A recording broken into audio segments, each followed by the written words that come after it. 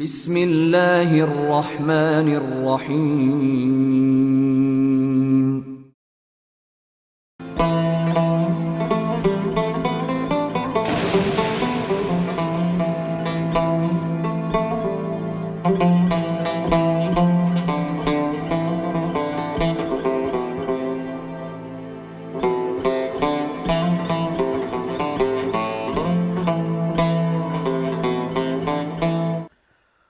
السلام عليكم ورحمة الله وبركاته بسم الله الرحمن الرحيم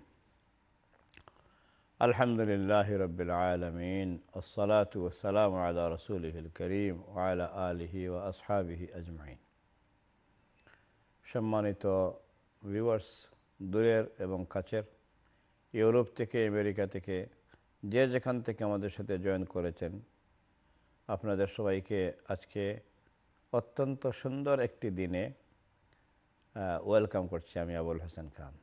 আমাদের সাপ্তাহিক programme enlighten journey এই প্রোগ্রামে আপনাদেরকে যে বিষয়ে আমি নিয়ে যাব ইনশাল্লাহ কথা ছিল যে আমরা কথা বলব এই জিলহজ মাস সম্পর্কে, মাসটি সমাগত, আর মাত্র এক সপ্তাহ পরে আসতেছে। কথা বলেছি গত দু সপ্তাহ জিলহজ মাসের করণীয়। তারপরে আমরা বলেছি কোরবানি সম্পর্কে। আজকে কোরবানি যে অংশটা বাকি রয়ে গেছে, এই অংশটা বলব। তারপরে বলব ইনশাল্লাহ আমাদের ঈদ সম্পর্কে কিছু কথা। এরপরে হজ সম্পর্কে। তো এই বিষয়বস্তুগুলো আমাদের কাছে ক্লিয়ার আছে। কিন্তু অনুরোধ থাকবে একটু রিপিট করি তাইলে আপনাদের কাছেও ক্লিয়ার বিষয়গুলো হয়ে যাবে ইনশাল্লাহ আপনারা যদি একটু মনোযোগ সহকারে আমাদের সাথে থাকেন। প্রথম সপ্তাহে আমরা বলেছিলাম, জুলহাজ মাসের করণীয় এই মাসটি আসতেছে, বড় পবিত্র মাস। রসুল সাল্লাহ আলি সাল্লাম বলেছেন, জিলহজ মাসের আমলগুলো আল্লাহর কাছে সবচেয়ে প্রিয় আমল। আহাব্বুল আমাল ইল্লাহি সুবাহানাহু তাআলা। অতএব এই বেস্ট আমলগুলো কি কি করতে পারি? আমি আজকে আর বিস্তারিত বলব না, অনেক বলা হয়ে গেছে, আমি শুধু লিস্ট পেশ করব। আমলগুলো এক নম্বর আমল হচ্ছে জিলহজ মাসকে সম্মান জানিয়ে ভালো করে প্রিপারেশন নেওয়া, যেমন করে আমরা রামাদানে প্রিপারেশন নেই। যেমন এই প্রিপারেশনটা প্রয়োজন, নিয়ত দরকার। নিয়ত না হইলে আমল করলেও লাভ হয় না। এই জন্য নিয়ত লাগবে যে আমি এবারের জিলহজ মাসের আমলগুলো ভালো করে করতে চাই সুন্দর করে করতে চাই কোয়ালিটির আমল কোয়ালিটির টাইম দিয়ে করতে চাই এই জন্য যে আল্লাহর কাছে নাকি এগুলো বেশি শ্রেষ্ঠ, অতএব এই শ্রেষ্ঠ সময়ে শ্রেষ্ঠ আমল আমি উপহার দিতে চাই আমি আমার জন্য।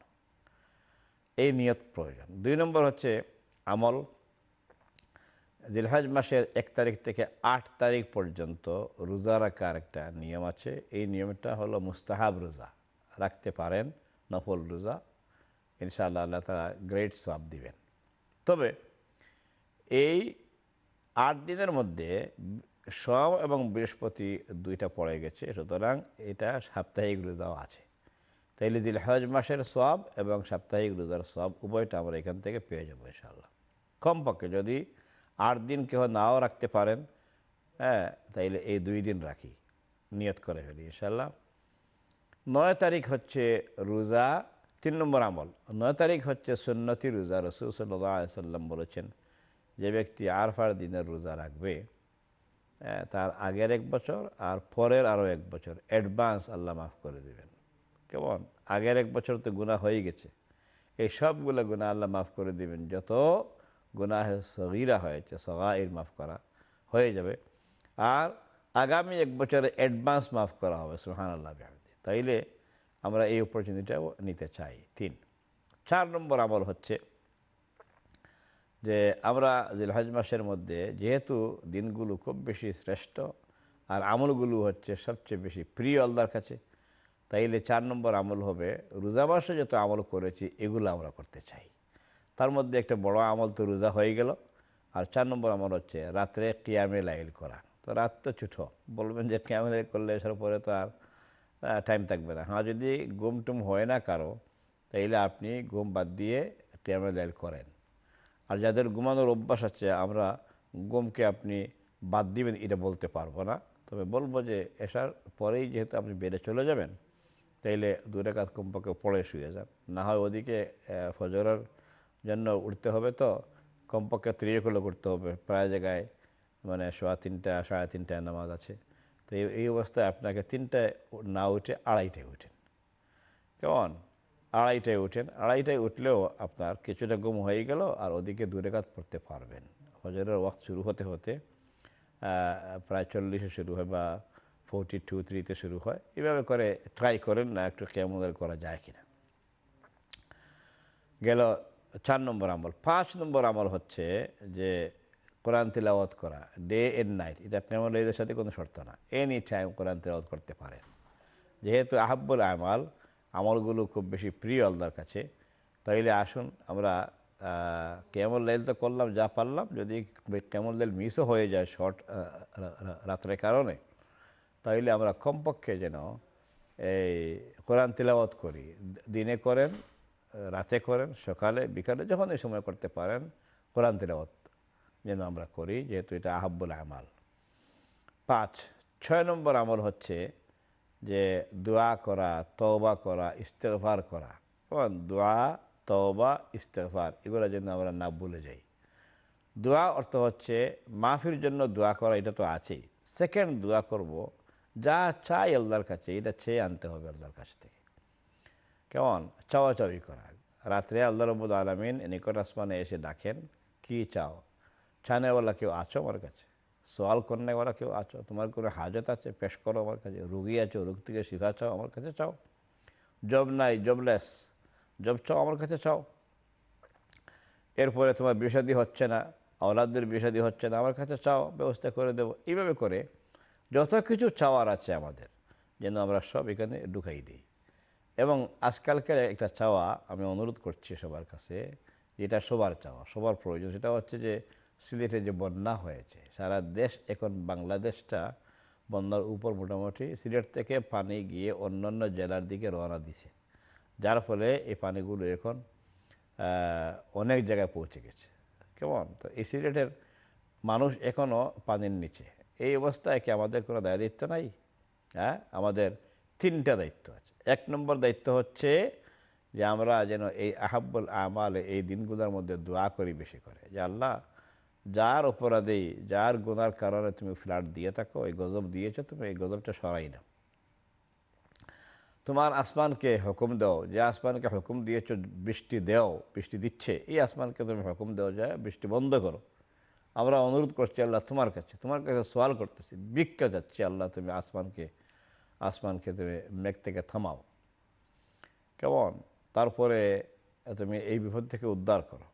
কেমন এইভাবে করে দোয়া করা আমাদের একটা অন্যতম দায়িত্ব। দুই নম্বর হচ্ছে আর্থিকভাবে যা পারি যেন আমরা হেল্প করি। যে কোনো টিভি চ্যানেলে যান, দেখবেন ইনশাল্লাহ ফান্ডেজ হচ্ছে। বিশেষ করে ইকরা টিভিতে, ইকরা ইকরা টিভিতে আল খায়ের নামে আল খায়ের ফাউন্ডেশন কালেকশন করতেছে। Huge amount of money needed এখন হচ্ছে ফুড প্যাক দরকার। কেমন নৌকা কিনে ফুড ফুড যেন সকলের বাড়ি বাড়ি পৌঁছে দেওয়া যায়, এই একটা জরুরি কাজ। আর সেকেন্ড জরুরি কাজ হচ্ছে আরেকটা, যে ফুড প্যাকের পরে বন্যা যখন নেমে যাবে, ওই সময় ঔষধপাতি লাগবে ফুড তো লাগবেই, তারপর লাগবে রিহ্যাবিলিটেশনের কাজ। কেমন মানুষের গড় তৈরির কাজ। কেমন গড় ভেঙে যাবে, বেড়া ভেঙে যাবে, এবং অনেকগুলো গড় বাড়ি তো নাই, অস্তিত্বই নাই বলা যায়। এগুলো ডিসপ্লেস হয়ে গেছে। অনেক ঘর আমরা দেখেছি, যে টিনের ছাদা পর্যন্ত উড়াইয়া নিয়ে গেছে। কেমন ঘর পর্যন্ত উড়াইয়া নিয়ে গেছে। এগুলোকে আবার রিবিল করতে হবে না? এই কাজগুলো লাগবে। এই জন্য বলছি যে ফুড প্যাক এখনও লাগবে, পরে লাগবে বলছি এক। দুই নম্বর বলছি যে, ঔষধপাতি লাগবে খুব বেশি করে, কারণ রোগ রোগটুক ছড়িয়ে যাবে। আর তিন নম্বর বলছি যে রিপ্লেস করতে হবে গড়গুলাকে। এই কাজগুলোর জন্য আমাদের উদ্যোগ নেওয়া দরকার, পয়সা দেওয়া দরকার। দুই তো এক নম্বর বলছি দোয়া করা, দুই নম্বর বলছি এই গড়গুলাকে জোগাড় ব্যবস্থা করে দেওয়ার জন্য আর্থিক হেল্প করা, দোয়া করা। তিন নম্বর যেটা কাজ, সেটা হচ্ছে যে বন্যা পীড়িত মানুষের জন্য হেল্প করার জন্য যত জায়গা থেকে কোনো দাবি আসে টিভির এপিল আসুক, আর আপনার আত্মীয় হিসাবে আপনার বাড়ির থেকে আসুক, আপনার দেশ থেকে আসুক না কেন, কেমন যেভাবে করে আসুক, সবটাতে আপনি যা পারেন সাপোর্ট করবেন। এক কানে দিয়ে হাত পাও ক্লোজ করে যদি আমি বসে থাকি, যে দিছি তো। হ্যাঁ না, সবাই কিন্তু আপনার কাছে আসতেছে। অনেক এপিল আসবে, যত এপিল আসবে, যা পারেন, সামর্থ্য অনুযায়ী কম দেন সুবিধা নেই, দিয়ে হলেও আপনি এগুলা সাপোর্ট করবেন। এই তিনটি কাজ আমাদের করা উচিত। তো আমি ছিলাম বলতে দোয়ার কথা। মেইনলি হলো এই উত্তম দিনগুলোর মধ্যে আমরা দোয়া করব, এই দোয়ার সময়টা যেন আমরা আমরা নিতে পারি, না আমরা ভুলে যাই। পাঁচ নম্বর আমল বলছিলাম। ছয় নম্বর হলো কিছু দান দান খয়রাত আমরা করব। যেমন করে রমাদানে আমরা দান হয়রাত করেছি, গরিবদেরকে দিয়েছি আমরা দুঃখীদেরকে দিয়েছি, প্রয়োজনশীল মানুষদেরকে দিয়েছি। এইভাবে করে প্রয়োজন যে শেষ হয়ে গেছে, আর কারও লাগবে না এমন না, প্রয়োজন তো তার জায়গায় রয়ে গেছে। তো জন্য সবার কাছে এপিল পেশ করতেছি যে এই আহাব্বুল আমাল ইল্লাহি আল্লাহর কাছে যেগুলা সব সময় করা হয়, আহাব্বুল আমার ইল্লাহি আদওয়ামুহা আর একটা হাদিস রয়েছে। রসুল্লাহ সাল্লাম উল্লেখ করেছেন যে কাজটি, যে আমলটি সব সময় করা হয়, এটা যদি কমও হয় ও ইনকাল যদি এটা কমও হয় তবু এটা আল্লাহর কাছে সবচেয়ে বেশি প্রিয়। তাহলে দান দান খায়রাত আমরা মাহের রমাদানে করেছি, এরপরে কি আমরা বাদ দিয়ে দেব? না, কম হোক। নবী সাল্লাম বলেছেন, কম হোক, তুমি এটাকে দায়ম রাখো, তুমি এটা কায়েম রাখো কন্টিনিউয়াস আমল করে যাও। তাহলে এই কন্টিনিউ আমলটা করার জন্যে অনুরোধ করছি যে বিশেষ করে এই জুলহজ্জা আর সময়ে আসতেছে যেন কিছু পয়সা আমরা এলোকেট করি। এমনিতেও বলছি তো ফ্ল্যাটে দেবো। ফ্ল্যাট ছাড়াও যেন আমরা দিই। আচ্ছা ফ্ল্যাটের বিষয়ে দুই একটা মাস আলা বলে ফেলি ফাঁকে দিয়ে। একটা মাস আলা প্রায় জিজ্ঞেস করা হয় যে, কোরবানির সময় আসতেছে, কোরবানির ঈদ আসতেছে, আমরা কোরবানি না দিয়ে এই কোরবানির পয়সাটা যদি আমরা দান করে দেই ফ্ল্যাটের মধ্যে এটা কি আদায় হয়ে যাবে বা দেওয়া জায়েজ হবে? না, এটা হবে না। এত চালাক হওয়া আমাদের ঠিক হবে না। কেমন কোরবানি যেহেতু আপনি দিচ্ছেন, খেয়াল করেন, বিষয়টা খুব জটিল। কোরবানি আপনার উপর কেন ওয়াজিব হয়েছে ওয়াজিব তো হয়েছেই আপনার মাল আছে বলে। তাহলে আপনার আরও মাল আছে, শুধু কোরবানির পয়সাই আপনার কাছে আছে এমন না, আপনি আপনি চালাক হবেন না। আপনার কাছে যে পয়সা আছে ওখান থেকে দেন। কারণ পয়সা আছে বলেই তো কোরবানি ওয়াজিব হয়েছে পয়সা আছে বলেই তো আপনার উপর জাকাত ফরজ হয়েছে তাইলে ফরজ, যার উপর জাকাত ফরজ হয় এই সময়ে, তার উপর কোরবানি ওয়াজিব হয়। তো আপনার পয়সা আছে বলেই তো এই উভয়টা আপনার উপর আসছে, ফরজ এবং ওয়াজিব। তাইলে আপনার পয়সা আছে, আপনি পয়সা থেকে দিবেন না। এত বড় বিপদ হচ্ছে, আর আপনি আপনার নিজের পয়সা সেভ করবেন, এখন না শুধু কোরবানির পয়সা নিয়ে আপনি গোদাগুতি করবেন, এটা এখানে দিবেন না, ওখানে দিবেন, নাকি না দিলে হবে? না। কোরবানি আপনার উপর মাল আছে বলেই আল্লাহ তালা ওয়াজিব করেছেন। এটা আপনার জন্য একটা ওয়াজিব দায়িত্ব, এটা আপনি যদি অন্য জায়গায় দিয়ে দেন, আপনি গুণাগার হবেন। আপনার ওয়াজিব আদায় হবে না, গুণাগার হয়ে যাবেন। এই জন্য কোরবানির পয়সাটা দিয়েন না প্লিজ আপনি দিবেন, আপনি কোরবানি করে দেন গোস্ত খাইতে পারেন না, অসুবিধা নাই, এই গোস্ত এই ফ্লাড এফেক্টের লোকদেরকে আপনি পাঠাইয়ে দেন, সমস্যা নেই। আপনার কোরবানি দেওয়া ওয়াজিব, এটা আপনি দেন। দিয়ে যদি নিজে গোস্ত কম খান, যে এইবার আমরা বেশি লোক এফেক্টেড হয়ে গেছে, আমার কোরবানির গোস্ত আমি খাব না, দিয়ে দেন। আর যদি বলেন যে, না, আমি একটা দেই, আমার ওয়াজিব কোরবানিটা এখানে দিয়ে দিই, একটা কোরবানি ওয়াজিব এটা আমি এখানে দেই, আর বাকি আর নফল কোরবানি আমি দিতাম এভরি ইয়ার দুইটা, তিনটা, একটা যাই দেন। এটা আপনি যদি কোরবানি না দিয়ে পয়সা দিয়ে দেন, এটা আপনার জন্য গুণা হবে না। আমি আবার বলছি, নিজের ওয়াজিব কোরবানি না দিলে, কোরবানি না দিলে গুণাগার হবেন এই জন্য আপনার কোরবানি দেওয়া লাগবে। আর যদি বলেন যে ফ্ল্যাটে আমি কোরবানি পয়সা পাঠাই দিই, তাহলে আপনি গুণাগার হবেন দুই। তিন নম্বর বলছি, কোরবানি দিয়ে যদি কোরবানির গোস্ত আপনি না খেয়ে বলেন বা আপনি কিছু খাইলেন আর বললেন যে বাকিটা আমি আমার ফ্লাড এফেক্টের ভাই জন্য দিয়ে দেব, তাইলে এটা আপনি একটা অপশন আছে পারবেন। আর আরেকটা অপশন বলছি যে আপনার নিজের ওয়াজিব কোরবানি আপনি এখানে দিয়ে দেন, এখানে আপনি খান এবং আপনার আত্মীয় স্বজনকেও দেন, সমস্যা নাই, ফ্রেন্ড বন্ধুদেরকেও দেন নেইবারকে দেন। আর যেটা আপনি এভরি ইয়ার নফল কোরবানি দিতেন, এই নফল কোরবানি একটা, দুইটা তো দিতেন আপনি নিজের দেশবাসীকে খাওয়াইতেন আত্মীয় স্বজনকে খাওয়াইতেন, এইটা আপনি কনভার্ট করে ফেলেন এটা আপনি কোরবানি না দিয়ে পয়সা দিয়ে দেন ফ্ল্যাটে এটা করতে পারবেন। কিন্তু খেয়াল রাখবেন, আমার অনুরোধটা সেটা হচ্ছে আপনার নিজের মাল থেকে আপনি আগে ফ্লাড এফেক্টেড লোকদেরকে দেন। এখানে ফ্লাডের মধ্যে এবার আপনার ভাইও মুসিবতে, আপনার বোন মুসিবতে, আপনার পরিবার মুসিবতে। সবাই কিন্তু মুসিবতে পড়ে গেছেন। আরেকটা প্রশ্ন আসে যে কোরবা এই জাকাতের পয়সা কি আমরা ফ্লাডে দিতে পারব? ফ্লাডে তো সবাই ক্ষতিগ্রস্ত হয়েছে, কিন্তু কোরবা এই জাকাতের পয়সা তো গরিবদেরকে দিতে হয়। কেমন? জাকাতের পয়সা তো নিয়ম হচ্ছে গরিব পাবে, ফকির পাবে। জি মাস আল্লাহটা ঠিক আছে যে ফকিররা পাবে। কিন্তু এখন বলেন ফ্লাডের কারণে ধনী যারা ছিল, ওরা কি এখনও ধনী আছে? না এখন সবাই এক কাতারে পড়ে গেছে। কেমন? এখন এক কাতারে সবাই এসে গেছে। ধনী যারা ছিল অবস্থাশালী যারা ছিল আহ, তাদের পয়সাও ছিল। এখন তারা ফ্লাডের কারণে গরিবদের মতোই হয়ে গেছে সমান হয়ে গেছে। তো গরিব হয়ে গেছে হিসাবে ওদেরকে এখন সাময়িকভাবে দেওয়া যাবে।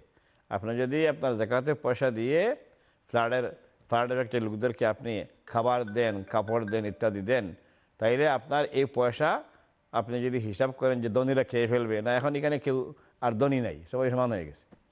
এজন্য ফকির হচ্ছে দু ধরনের। একটা হচ্ছে সব সময়কার ফকির, সব সময় তাদের, তারা অভাবই থাকে। কেমন? আল ফকরুদ্দাওয়াম যারা সব সময়কার গরিব, সব সময়কার নিধি প্রয়োজনশীল। আর আরেকটা ক্লাস হচ্ছে ফকির বলতে যে সাময়িক কোনো কারণে ফকির হয়ে গেছে। আসলে এই লোকটা ফকির না। খেয়াল করেন, লোকটা আসলে ধনী, তার সামর্থ্য আছে, না হয় সচ্ছল। যদি ধনবান নাও হয়, সচ্ছল মানুষ। কিন্তু তার ডাকাতি হয়ে গেছে, ফর এক্সাম্পল তার তার ঘরে আগুন লেগে জ্বলে গেছে বা তার মানে সমস্যা হয়ে গেছে। তাইলে এই ধনী লোকটা গতকালকে পর্যন্ত ছিল সচ্ছল, ধনী ছিল। আজকে অবস্থার কারণে সে কিন্তু গরিব হয়ে গেছে। কিন্তু এই গরিবই তার বেশি দিন থাকবে না। কেমন এখন যদি আত্মীয় স্বজন সবাই মিলে থাকে, একটা মাস খাওয়ায়, একটা সপ্তাহ খাওয়ায়, তা আশা করা যায় মাস কেনেকের পর তার দন যেহেতু ছিল, তার একটা ব্যবসা আছে, ইত্যাদি ইত্যাদি আছে, মোটামুটি সে একটু লাইন করে ফেলবে সব কিছু এক মাসের মধ্যে।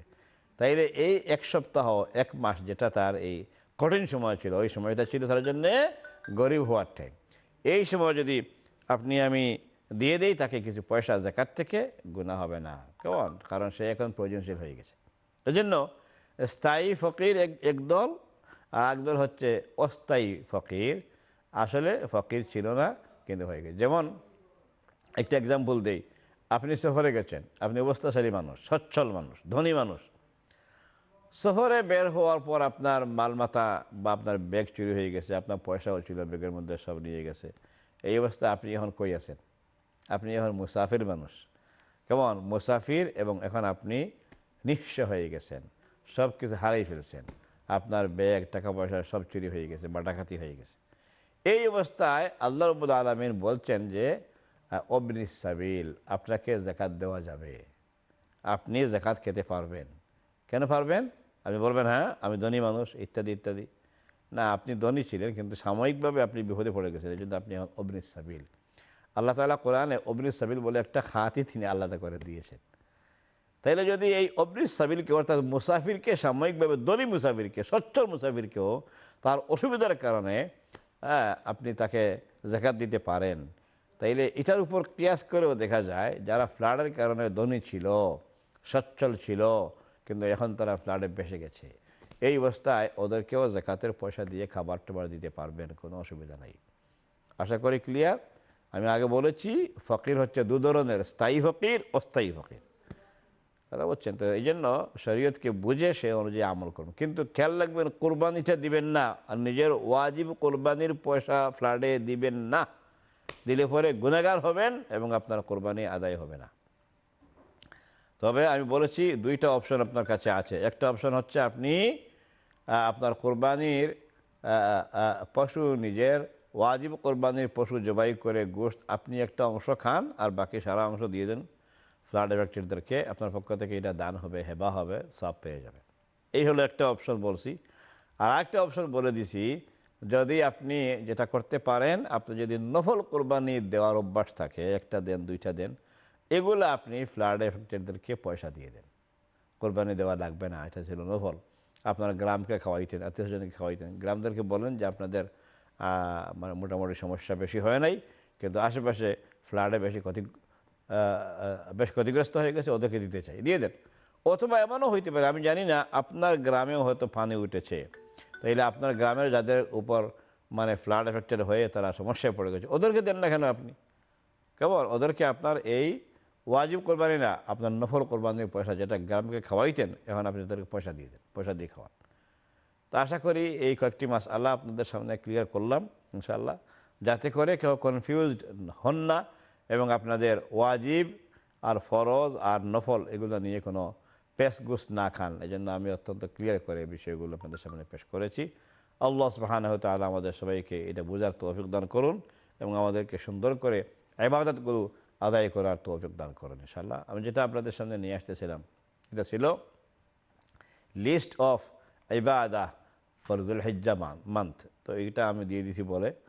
এবারে চলেন যে এই লিস্ট দেওয়ার পর কোরবানির বিষয়টা। কোরবানিও আমরা বলে দিয়েছি, গত সপ্তাহে বোধহয় বিস্তারিত বলেছি, যে কোরবানির অর্থ হচ্ছে নিকট আল্লাহ তালার নিকটবর্তী হওয়া। কারুবা ইয়াকলুব কোরবান শব্দের অর্থ হচ্ছে যে নৈকট্য হাসিল করা মানে কারও সান্নিধ্য হাসিল করা, কারও নৈকট্য হাসিল করা, কারও নিকটে চলে যাওয়া ক্লোজ হওয়া। কেমন? সম্পর্কটা খুব বেশি ক্লোজ করা। যেমন, আপনি একটা মানুষের দিল পাওয়ার জন্যে, তার সাথে সম্পর্ক করার জন্যে আপনি আপনার সব কিছু কোরবানি করে ফেলেছেন। আমরা বলি না, কোরবানি করে ফেলেছেন সব কিছু এই কোরবানির অর্থ হচ্ছে যে তাকে আপনি, তার জন্য বিসর্জন দিয়ে দিয়েছেন। আপনার সময় বিসর্জন গুম বিসর্জন, আপনার আপনার সকল পরিশ্রম বিসর্জন, পয়সাপাতি বিসর্জন দিয়েও ট্রাই করতেছেন যেন আপনি হয়তো যেতে পারেন, যেমন এবার যেটা হয়েছে এবার এইভাবে করে যে যে কোনো বিষয়ে আমরা যখন সব কিছু বিসর্জন দিয়ে আল্লাহমুখী হই তখন এটাকে বলা হয় আল্লাহকে পাওয়ার জন্য, আল্লাহর সান্নিধ্য হাসিল করার জন্য কোরবানি দেওয়া। তো আল্লাহ পাকে সান্নিধ্য হাসিল করার জন্য কোরবানি দেওয়া যেটা, এই কোরবানিটা আমরা আমরা দেব। এবং দেখেন কোন ধরনের সান্নিধ্য? যেটা আল্লাহ সুবহানাহু ওয়া তাআলা কোরবানির জন্য তিনি বলেছেন আমাদেরকে, সেটা হচ্ছে আল্লাহকে পাওয়ার জন্য কোরবানি নবী ইব্রাহিম আলহিসাল্লাম দিয়েছিলেন তার ছেলেকে। ছেলেকে কেন দিলেন বা আল্লাহ আল্লাহ কেন হুকুম করলেন? হ্যাঁ আল্লাহ তালা প্রিয় জিনিস চান, যে তোমার সবচেয়ে প্রিয় যেটা আছে। কেমন তোমাকে আমি যা ধন সম্পদ দিয়েছি, আওলাদ দিয়েছি, এর মাঝ থেকে সবচেয়ে প্রিয় জিনিস তুমি আমার পথে দাও। তাই আসুন, এই প্রিয় আল্লাহকে পাইতে হইলে প্রিয় জিনিস হচ্ছে আমাদের হালাল মাল। যেমন করে নবী ইব্রাহিম আলাইসালাম তার সবচেয়ে বেশি প্রিয় ছিল এক সন্তান, একমাত্র সন্তান ছিলেন তখন। হ্যাঁ ইসমাইল আলহিসাল্লাম এই আল্লাহ বলছেন, তুমি ইসমাইলকে দিয়ে দাও, তিনি দিয়ে দিয়েছেন। তো আমাদের উপর যদি এত বড় পরীক্ষা আসে যে সন্তানদেরকে দিয়ে দাও, এক একটা করে করে, পারব নি? পারব না এবং আল্লাহ এটা চানও নাই। আল্লাহ জানেন যে এটা তিনি দিয়েছেন, এটা আমাদের জন্য সৌন্দর্য। আমাদের দ্বন্দ্বৌলত এবং সন্তানাদি হচ্ছে আমাদের জন্য সৌন্দর্য। দুনিয়ার সৌন্দর্যের বাহন এবং কারণ। আলমাল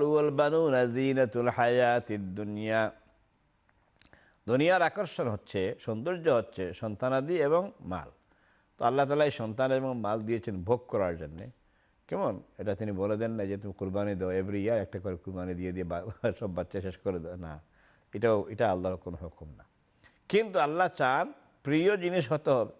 তাইলে প্রিয় জিনিস আপনার আমার কাছে যেটা আছে মাল, সেই মাল থেকে সবচেয়ে বেশি প্রিয় যেটা, অর্থাৎ হালাল। রুজি। এই হালাল মাল যেন হয়। খেয়াল রাখবেন, হালাল মাল থেকে কোরবানি দিবেন। দুই নম্বর হচ্ছে, উদ্দেশ্য থাকবে আমি আল্লাহকে খুশি করতে চাই। আমার কোরবানি নিয়ে কোনো বড়াই নাই, কোরবানি নিয়ে কোনো পাবলিসিটি নাই। আমার কোরবানি যেটা পশু, এটা নিয়ে কোনো কোনো, কী বলে ফেসবুক না, এবং এটা নিয়ে কোনো অ্যানাউন্সমেন্ট না, কোনো কিছু না। কেমন আপনার কোরবানি আপনি দিবেন, আল্লাহ দেখবে আপনার অন্তর আপনি কেন দিচ্ছেন। কিন্তু আপনি যদি এটা নিয়ে বাজারে হাঁটান, এরপরে তার মধ্যে তার গলায় মালা লাগাইয়া আপনি সারা এলাকা ঘুরান, আপনি অ্যানাউন্সমেন্ট করেন এবং এটা যদি মানুষ খবর পায় যে ওই সাপ বাড়ের অলন্ডনী বাড়ের কোরবানি এটা, কোরবানির পশু এক লাখ টাকা দিয়ে কিনছে, সব জায়গায় পাওয়া যায় মানে তিরিশ থেকে পঞ্চাশ হাজার কেমন আর আপনারটা হচ্ছে এক লাখ, দুই লাখ, কি কি ফুটানি, এখন এটার গায়ের দাম লিখে অথবা দাম না লিখে আপনি ফুলের মালা পরাইয়া এই পশুটাকে নিয়ে হাঁটাইতেছেন, তাইলে তো এটা হচ্ছে আপনি আপনি যশ এবং খ্যাতি অর্জন করার জন্যে। কেমন? আপনি সম্মান অর্জনের জন্য এটা করেছেন। এই যে আপনি সম্মানের জন্য করলেন, আপনি নাম ফুটাইবেন, নাম ফাটাইবেন, যদি এগুলো হয়, আল্লাহ তালার কাছে আপনার কিচ্ছু যাবে না, আপনি কিচ্ছু পাবেন না, কোনো সব পাবেন না। এই জন্য অনুরোধ করছি, এই জাতীয় বদনিয়ত করে আপনি কোরবানি দিবেন না কেহ। দিলে পরে পয়সাও যাবে, কোরবানিও যাবে সব তো পাবেন না, উল্টা রিয়ার কারণে আপনার আজাব হওয়ার আশঙ্কা আছে। তো আসুন, আমরা একটা ব্রেকে যাই। ব্রেক থেকে এসে ইনশাল্লাহ বাকি কথা আপনাদেরকে নিয়ে পরিপূর্ণ করব এবং আজকে কোরবানির বিষয়টা শেষ করব ইনশাআল্লাহ। জাজাকুমুল্লাহ খৈরাম আসুন, আমরা ব্রেকে যাচ্ছি ব্রেক থেকে ফিরছি খুব কম সময়ের মধ্যে। আসসালামু আলাইকুম ওরহমতুল্লাহ ওবরাকাত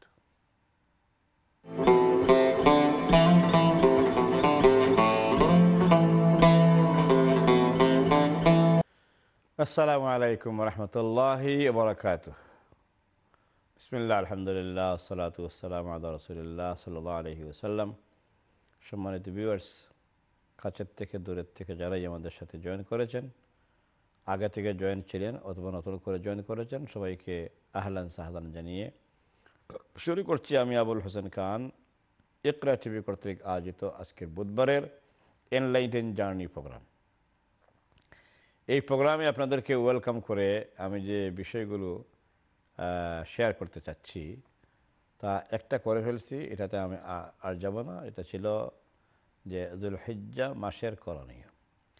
তার সাথে আমি বলে ফেলেছি কিছু মাস আলা যে ফ্লাডের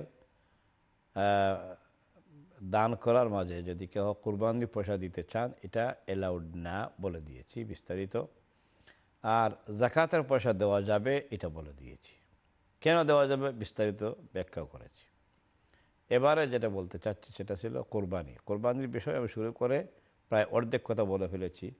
যে বিষয়ে ছিলাম বলতে কোরবানির বিষয় পয়েন্টটি সেই পয়েন্টটা ছিল আল্লাহ আস্তে কোরবানি করতে হবে।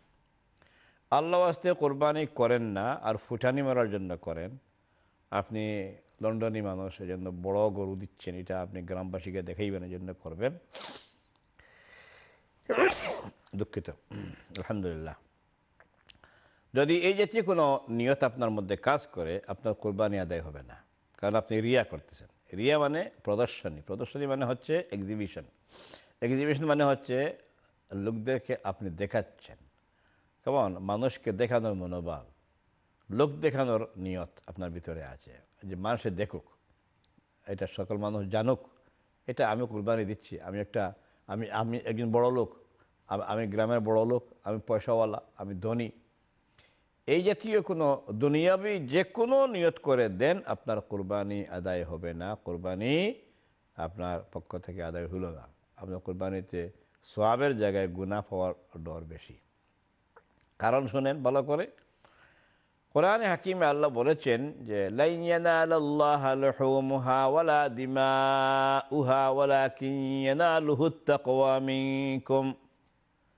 যে তোমাদের কোরবানির পশু, তার চামড়া, তার গোস্ত, তার ব্লাড কোনো কিছুই আমার কাছে এসে পৌঁছায় না। আমি এগুলো চাই না। আমি চাই তোমাদের অন্তরের তাকোয়া আমাকে ডরাইয়া, আমাকে ভালোবেসে, আমাকে ডর ডর করে, ভয় করে কোরবানি দাও তোমরা আমার ভালোবাসা তোমরা চাও। আমাকে সন্তুষ্ট করো। Try to satisfied me okay if your intention is to satisfy me then you should not show off to the people এখন আমরা তো কিন্তু এটা উল্টা করি। এবং আমরা গল্প করি, দেখছেন? আমাদের গরু কত বড়। আমাদের গরুর যে ব্লাড কত সুন্দর। চর্বি কত ফার্স্ট ক্লাস ইত্যাদি আমরা ফুটানি মারি। হ্যাঁ এবং গ্রামের সবচেয়ে বড়টা আমাদের। কেউ এমন এমন এমন কার বুকের পাটা আছে, এত বড় গরু দিবে? এইভাবে করে করে আমরা আমাদের আমল গরুকে নষ্ট করে ফেলি। এগুলা করবেন না প্লিজ অন্যের সাথে মোয়াজানা করবেন না কম্পেয়ার করবেন না। আপনারটা ভালো হয়েছে তারটাও ভালো। এবং কার মনের অবস্থা ভালো এটা আল্লাহ দেখেন, আল্লাহ নিজে এই আয়াতে বলেছেন। আর একটা আয়াত আচ্ছা এই আয়াতটা হচ্ছে সুরা হজ্জের আয়াত। আর সুরা দাহারের মধ্যে, সুরা ইনসান তার আরেক নাম সুরার।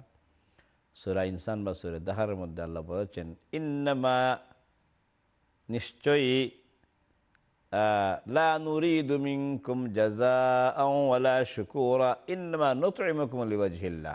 আমি তোমাদেরকে কুরবানির গোশত খাওয়াচ্ছি। কেমন বিল্লাহ, ইন্নামা নুতইমুকুম আপনাদেরকে খাওয়াচ্ছি, দাওয়াত দিয়ে খাওয়ান গোস্ত দিয়ে খাওয়ান, যেভাবে করে খাওয়ান, এই খাওয়ানো খাওয়ান দাওয়ান গরিবকে খাওয়ান, ধনীরে খাওয়ান যেভাবে যাদেরকেই আপনি আপনার কোরবানির গোস্ত খাওয়ান, আপনি খাওয়াইবেন আল্লাহ নুরুদ্দিন কুম জাজা আনুল্লাহ শিকোরা খাওয়াইয়া যদি বলেন যে আমাকে খাইলো খাইলো, কোনো থ্যাংক ইউ দিল না। না, যদি থ্যাংক ইউ আশা করেন তাহলে আপনার খাওয়ানোটা হইল না। আপনি বরং তোমাদের কাছ থেকে কোনো বিনিময় চাই না। থ্যাংক ইউ চাই। এমনকি মুখে বলবা কি বল থ্যাংক ইউ এটাও আমি চাই না। ধন্যবাদ, এটাও আমি চাই না। আপনি খাওয়াইবেন আল্লাহ হস্তে আল্লাহ হস্তে করে সে কি থ্যাংক ইউ দিল নাকি দিল না, দরকার নেই। যে এইভাবে যদি নিয়ত না হয়, কোরবানির নিয়ত, তাইলে আপনার নিয়ত, নিয়তের কারণে গড়বড় হয়ে যাবে, পয়সাও যাবে, আমও যাবে, সালাও যাবে। কোরবানিও যাবে, গরুও যাবে, পশুও যাবে, পয়সাও যাবে। কোনো লাভ হবে না, সব হবে না। এই জন্য আমি আপনাদের সবার কাছে অনুরোধ করতে চাই যে আসুন, একমাত্র আল্লাহ আসতে সন্তুষ্টি, আল্লাহর সন্তুষ্টির জন্যে, আল্লাহকে আমরা খুশি করার জন্য কোরবানির জন্য দেই। নাম্বার ওয়ান নাম্বার টু বলেছে, হালাল পয়সা থেকে কোরবানিটা দিবেন। কোনো বেজালি পয়সা দিয়ে দিবেন না। অন্য অন্য কারও কাছ থেকে আনছেন যেটা দিবেন না। আপনি কি বলে, এই কোনো চুরির পয়সা, ডাকাতির পয়সা, পরের হকের পয়সা বোনকে সম্পত্তি আপনি দিয়া দেন নাই বাকটাক করেন নাই, বাইকে দেন নাই, ছোটো ভাই সম্পদ আপনার মধ্যে রয়ে গেছে, ছোটো বোনেরটা রয়ে গেছে। আর এটা দিয়ে কোরবানি দিচ্ছেন। হ্যাঁ কোরবানি হবে না হবে না, খেয়াল রাখবেন, আপনার নিজের পয়সা থেকে দিতে হবে নাম্বার ওয়ান আর নাম্বার টু বলছে হালাল পয়সা থেকে দিবেন, হালাল পয়সা, পয়সাটা যেন হালাল হয়, উপার্জন হালাল হয়। গেল দুই, তিন নম্বর হচ্ছে যে কোরবানি যে আপনি দিবেন, নমাজের পরে কোরবানি দিতে হবে। ঈদের নমাজের প্রত্যেক ব্যক্তির ঈদের নমাজের পরে যেন কোরবানি দেওয়া হয়। বিশেষ করে ইউরোপ, আমেরিকায় আমরা যা, আমরা যেখানে আছি, এইসব জায়গায় কোরবানির ঈদের দিন, ঈদের নামাজের পর গোস্ত খাওয়ার জন্য অনেকে তাড়াহুড়া করে, সবকে বলে যে আমাকে আজকে দিতে হবে, ঈদের দিন দিতে হবে, ঈদের দিন বিকালে দিলেও এটা কিন্তু ঠিক হবে না। কারণ এক একটা সব যে শত শত কোরবানির অর্ডার তারা নেয়, অর্ডার নেওয়ার পর হয় কি সমস্যা হয়ে যায় এটাকে একটু শক্ত করে না বললে হবে না। তারা এই অর্ডারটা সাপ্লাই করার জন্য আগের রাত্রে থেকে কুরবানির গোস্ত কি বলে, পশুগুলো জবাই করে ফেলে। অনেক জায়গায় এইসব ঘটনা কিন্তু ধরা পড়েছে। আমি কারোর নাম নেব না, আমাদের নাম জানা আছে। আগের রাত্রে আমি আল্লাহ আস্তে সকল শপম্যানকে বলব এবং সকল কোরবান দাতাদেরকে বলব যে আল্লাহকে ভয় করেন। আল্লাহকে ভয় করেন এবং কোরবানির গুস্ত খাওয়ার জন্য এই দিন গুস্ত খাওয়া লাগবে, নামাজের পর পর এটা আপনারা হিসাব করবেন না। বরং আপনি দোকানে অর্ডার দিবেন যে প্রয়োজন হয় একদিন পরে খাব, একদিন পরে কোরবানি হোক, তাও আমি চাই। দুই দিন পরে খাব, কোনো সমস্যা নেই। এই দেশে গোস্ত খাওয়ার কোনো অভাব নেই। আপনি আগে থেকে গোস্ত কিনে ফ্রিজ ভর্তি করে রাখেন, খান, ঈদের দিন খান। কিন্তু কোরবানির গোস্তটা আপনি প্লিজ খাওয়ার জন্য তাড়াহুড়া করবেন না। সর্বস্তরের মুসলিম ভাই বোনদের কাছে আমি অনুরোধ করতেছি যে যদি আপনার ঈদের নামাজের আগে আপনার কোরবানি হয়ে যায়, তাইলে আপনি ঈদের দিন গোস্ত খাওয়ার তালে থাকবেন গোস্ত খাবেন, কিন্তু কোরবানি হবে না। এক সাহাবি রসুল্লাহ সাল্লাহ আলহি ওসাল্লামের কাছে এসে বললেন, ইয়া রসুল্লাহ আমার একটু দেরি হয়ে গেল, আসতে নামাজে? আমি কোরবানি দিয়ে আসছি। পশু কোরবানি দিয়ে নামাজে আসছি। রসুল বলছে, কোরবানি দিয়ে আসছো? তোমার কোরবানি হয় নাই, কারণ তুমি নামাজের আগে দিয়ে দিয়েছ। তোমার পশুটা হালাল যেহেতু, এবং তুমি জবাইও করছ আল্লাহর নামে, তাইলে তোমার এটা গোস্ত খাওয়া হবে। তুমি গোস্ত খাও, কিন্তু কোরবানি হয় নাই। ইন্নালিল্লাহ এরপরে সাহাবি আবার কোরবানি দিছেন। তাই কি বোঝা গেল, নমাজের আগে কোরবানি দিলে কোরবানি আদায় হয় না, তা আপনি আপনি তো তাড়াহুড়া করে বলছেন, আজকে আমাকে দিতে হবে সাপ্লাই। হ্যাঁ ঠিক আছে, বিকালে দেন। বিকালে দিলেও কিন্তু আপনাকে ঈদের নামাজের পরে কোরবানি করে দিতে পারবে না। অসম্ভব। সাপ্লাই দিতে পারবে না। এজন্য একদিন পরে খান, দুই দিন পরে খান, তবুও যেন আপনার ঈদের নামাজের পরে কোরবানিটা হয়, এটা আপনারা কনফার্ম করবেন।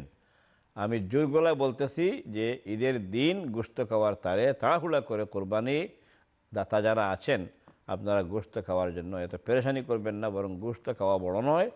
যদি গোস্ত খাওয়াই লাগে ঈদের দিন, কেমন? আপনি এই পিঠা করবেন, করেন তাহলে আপনি আগে থেকে কিছু গোস্ত কিনে এনে খান, সমস্যা নেই। কিন্তু কোরবানির গোস্ত খাইতে হইলে একদিন সময় দেন।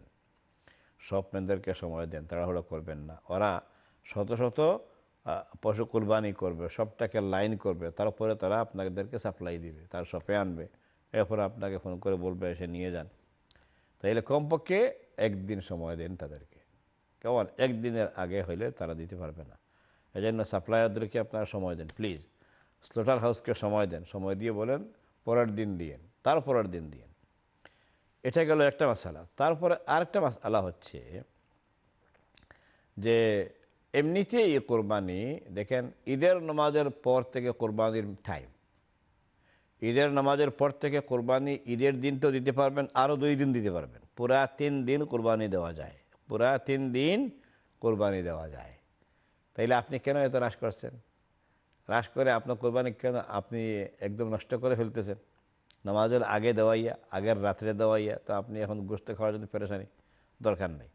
এজন্য শরীয়তে মাস আলা যেখানে আছে, সুযোগ আছে, ঈদের দিনের, ঈদের নামাজের পরে কোরবানির টাইম হয়। এর আগে দিলে তো কোরবানি হয় না। তাইলে আসেন শপম্যানদেরকে আপনারা, অথবা সাপ্লায়ারকে অথবা আপনারা কি বলে স্লোটার হাউসকে টাইম দেন। বলেন, ঈদের নামাজ পড়ে তোমরা কোরবানি আরম্ভ করবা। এই জন্য আমার কোরবানি যদি আসতে একদিন দেরি হয়, দুই দিন দেরি হয় আই ডোন্ট মাইন্ড কোরবানি দেরিতে আসুক গোস্ত লেটে আসুক, আমরা পরে খাব, কোনো সমস্যা নেই। এইভাবে করে কোরবানির সুযোগ যেহেতু আছে, তাইলে এই সুযোগটা কাজে লাগাই আপনি পরে করেন, তাইলে আপনারটা কোরবানি হবে। এটার সাথে আরেকটা মাস আল্লাহ হচ্ছে যে আপনারা যারা দেশে দিবেন, কেমন? এখানে আমাদের যেদিন ঈদ হয়, তার পরের দিন দেশে ঈদ হয়। কেমন? তাইলে আপনারটা তো অটোমেটিক নামাজের পরেই হবে ইনশাল্লাহ আপনি দেশে দেওয়াই দেন। তখন দিলে আপনারটা আগামীকালকে হচ্ছে। ওখানে ঈদ হচ্ছে আগামীকাল তা আপনার তো ঈদ শেষ, তাইলে ওখানে কোরবানি যদি দিতে চান, এই দিন দিতে পারবেন। আপনার কোরবানিটা যদি ওখানকার ঈদের আগেও হয়ে যায়, হয়ে যাবে, কারণ আপনার ঈদ শেষ। কেমন? অনেকে দেন দেশে এবং তারা তাদের ঈদের পরের দিন দেয়। সমস্যা নেই, জায়েজ। ইভেন যদি তাদের ঈদের আগের দিনও হয়ে যায়, পরের দিন বাদ দিয়ে আগের দিনও যদি হয়, তাহলে আপনার ঈদের পরে যেন হয়, এটা খেয়াল রাখবেন। অর্থাৎ আমরা যখন ঈদের নামাজ পড়ি, তখন বাংলাদেশে হলো আসরের টাইম কেমন দেশে আসর, কিন্তু আপনার আমার কি বলে জোয়ার পড়তেছি কি বলে, ঈদের নামাজ পড়তেছি, সকাল আটটায়, নয়টায়। ওই সময় দেশে জোহরের পর বা আসরের টাইম হয়ে গেছে।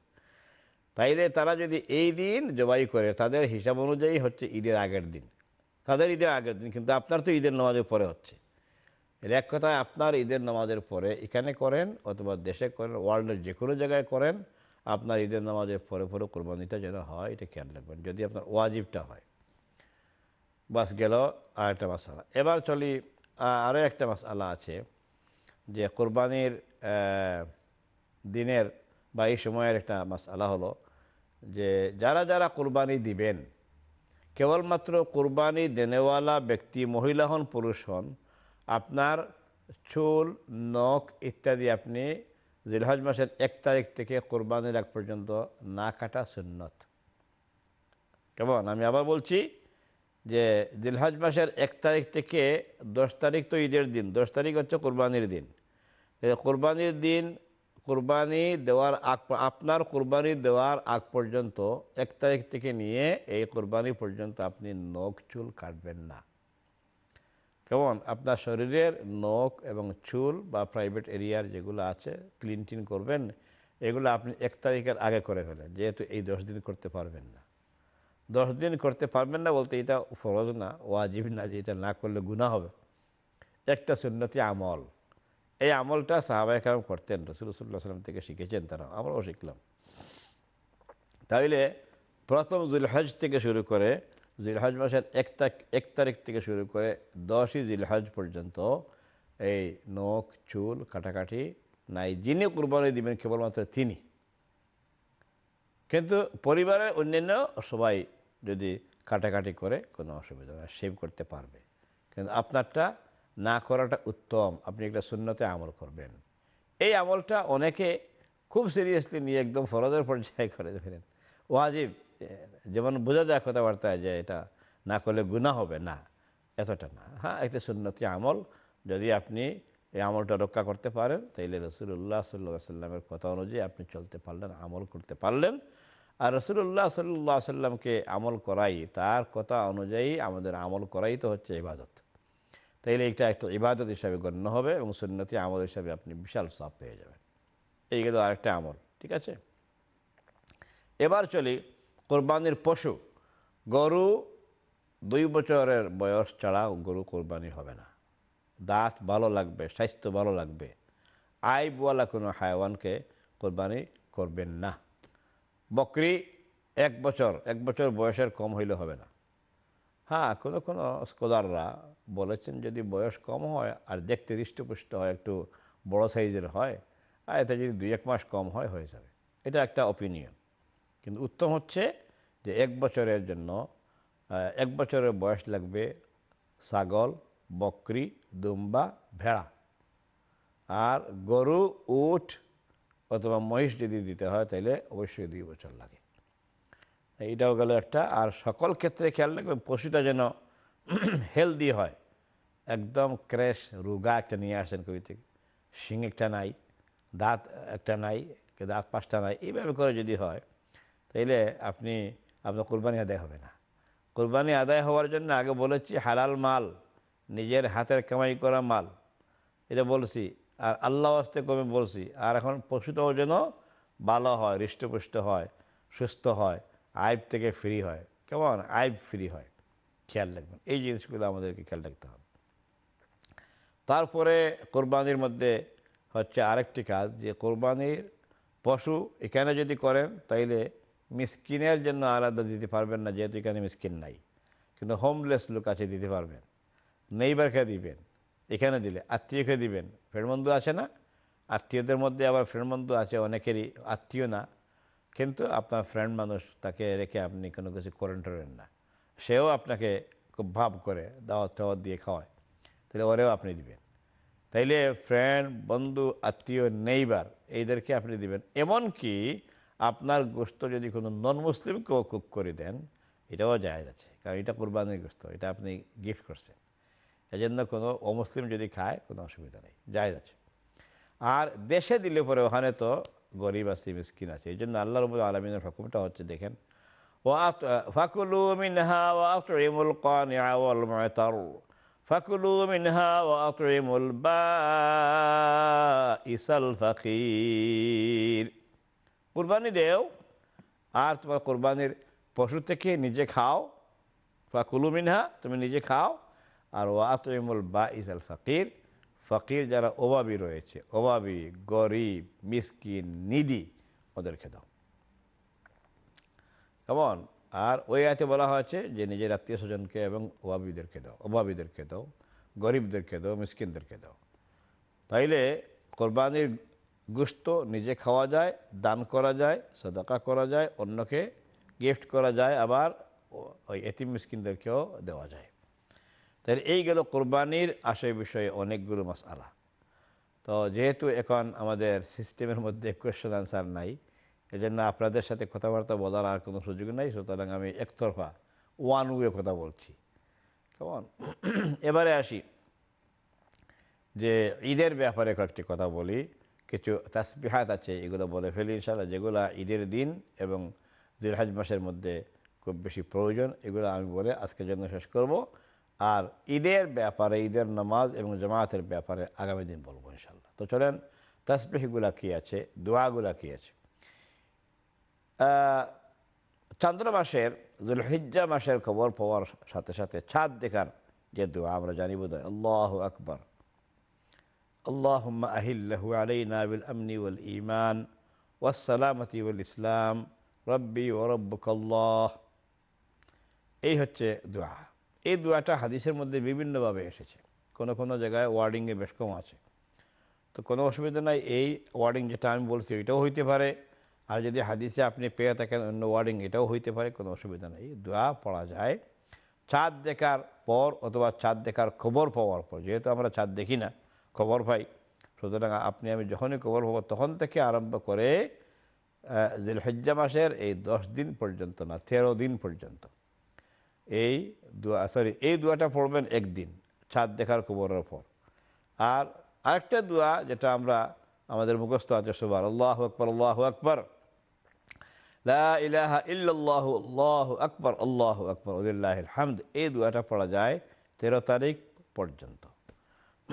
এবং বিশেষ করে আরফার দিন, আরফার দিনের ফজর থেকে শুরু করে তেরো তারিখের আসর পর্যন্ত এই সময়ে প্রত্যেক নামাজের পর পড়া এটা ওয়াজিব। স্কলারদের মধ্যে এখতলাফ যদিও আছে, কেউ বলেছেন সন্ন্যত কেউ বলেছেন সন্ন্যতে মাক্কাদা আবার কেউ বলেছেন যে না, এটা হচ্ছে ওয়াজিব, পড়তেই হবে। তো যাক, নাম ওয়াজিব হোক, সুন্নতি মাক্কাদা হোক মানে মোটামুটি পড়তে হবে, আমরা পড়ি। প্রত্যেক ফরজ নামাজে সালাম ফিরানোর পর প্রথমেই আল্লাহ আকবর আল্লাহ আকবর ইলাহা ইল্লাল্লাহু, আল্লাহু আকবর, আল্লাহ আকবরু আলিল্লাহিল হামদ। এটাকে আবার বিশেষ করে আমাদের আরব ভাইরা সুর করে পড়েন। আল্লাহ আকবর আল্লাহ আকবর আল্লাহ আকবর।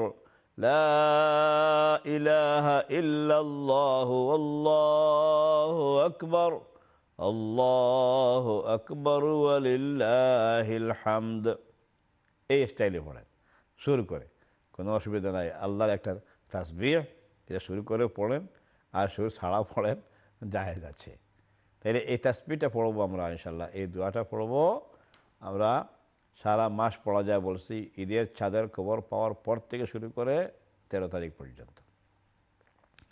আর চাঁদ দেখার দুয়াটা আমরা শুধু চাঁদ দেখার দিনই পড়ব। গেল দুই। তিন নম্বর হচ্ছে আরফার দিন একটা দোয়া। রসুল্লাহ সাল্লাম যে বললেন যে, আনা অন্নবী ইউনা কাবলি, আমি এবং আমার আগের সকল নবী, এই দুয়াটা আমরা পড়তাম। এই দুয়াটা কি? কেমন আরফার দিন সারা দিন এই দুয়াটা কন্টিনিউ করতে হয় হাজিদেরকে। হাজিদেরকে এটা পাঠ করা লাগে। আরফার দিন, আরফার মাঠে যারা থাকবেন, এদের জন্য খাস। আর আমভাবে আমাদের জন্য আছে। আমরা যারা আরফার বাইরে থাকব, আমাদের জন্য এই দুয়াটা ইম্পর্টেন্ট আছে পড়ার জন্য। যেহেতু এই বহারি শরীফের রেওয়ায়তে রয়েছে, এই দুয়াটা যে কোনো সময় পড়া যায়। শুধু জিল হেজ মাসের আরফার দিন শুধু না যে কোনো সময় এটা খুব বেশি গুরুত্বপূর্ণ এবং সোয়াবপূর্ণ দোয়া। লা ইলাহা ইল্লাল্লাহু ওয়াহদাহু লা লাহুল মুলকু ওয়া লাহুল হামদু ওয়া হুয়া আলা কুল্লি শাইইন কাদির। লা ইলাহা ইল্লাল্লাহু ওয়াহদাহু লাহুল মুলকু ওয়া লাহুল হামদু ওহু আলা কুল্লি শাইইন কাদির। এই দোয়াটা। আপনি অবসর আছেন, যখন পারেন, যা পারেন, পড়েন। ডেইলি একশো বার পড়েন, বেশি পড়েন, কম পড়েন, কোনো অসুবিধা নাই। কিন্তু পড়া উচিত। এই দুই তিনটে দোয়ার কথা বললাম। বিশেষ করে আরফার দিনের দোয়াটা রসুল এত গুরুত্ব দিয়েছেন। দিয়ে বললেন না যে আমি এবং আমার আগের সকল নবীগণ এই দোয়া পড়তেন সোহান আল্লাহ আরফার দিন পড়তেন। অতএব আমরা যেন আরফার দিনের জন্য যারা আমরা আছি আমরা যেন এটা পাঠ করি। আর যারা আমরা আরফাই নাই, সারা ওয়ার্ল্ডের মধ্যে আমরাও যেন এটা পাঠ করি ইনশাল্লাহ এটা গ্রেট সব পেয়ে যাব। সম্মানিত ভাই এবং বোনেরা, আমরা ছিলাম যে বিষয় আপনাদের সাথে আজকে কথা বলেছি। জিনিসগুলো ছিল এক নম্বরে। দশই জিল হজ্জের সরি জিল হজ মাসের প্রথম দশকের আমলগুলোর লিস্ট বলেছি আর মেনলি আমরা আলোচনা করেছি কোরবানির বিষয়। কোরবানি কাকে বলে, তার অর্থ এবং কেন কোরবানি করতে হবে এবং কোরবানি করা যে পশু, এটাও কথা বলেছি। আর নিয়তের কথা বলেছি যে কোন কোন কাজ করলে কবুল হবে না কোরবানি।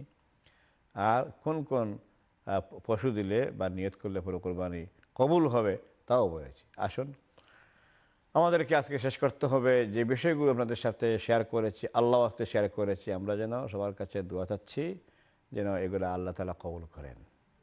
যে কোনো কাজের পরে দোয়া করে কবুলিয়তের দোয়া করতে হয়। আমরা টিভির প্রোগ্রাম করছি, এইসব প্রোগ্রাম কবুল হোক, আল্লাহর কাছে এটাও দোয়া করি।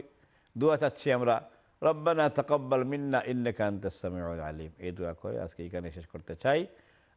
আগামী দিন ইনশাল্লাহ আগামী বুধবারে আপনাদের সাথে আবারও দেখা হবে আশা করছি এই আশাবাদ ব্যক্ত করে সবাইকে সুক্রিয়া জানিয়ে সবার সময় এবং টাইম দেওয়ার জন্যে এফোর্ট দেওয়ার জন্য আমাদের সাথে শরিক হওয়ার জন্যে মোবারকবাদ জানিয়ে শেষ করছি এখানে ও আখরুদ আওয়ান আলহামদুলিল্লাহ রবিল আলমিন سبحانك اللهم وبحمدك نشهد أن لا إله إلا أنت نستغفرك ونتوب إليك والسلام عليكم ورحمة الله تعالى وبركاته